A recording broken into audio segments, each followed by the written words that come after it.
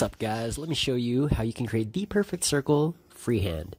Actually, that wasn't that bad. First, what you want to do is create a gun shape with your hand. Next, insert a pencil within these three fingers. Press your thumb to the pencil. Depending on how big you want your circle to be, you can simply adjust the distance between your index finger and the pencil itself. And that's pretty much it. This part's almost like a compass, but freehand. Beautiful. Now, if I've blown your mind and you found this tip helpful in any way, feel free to subscribe.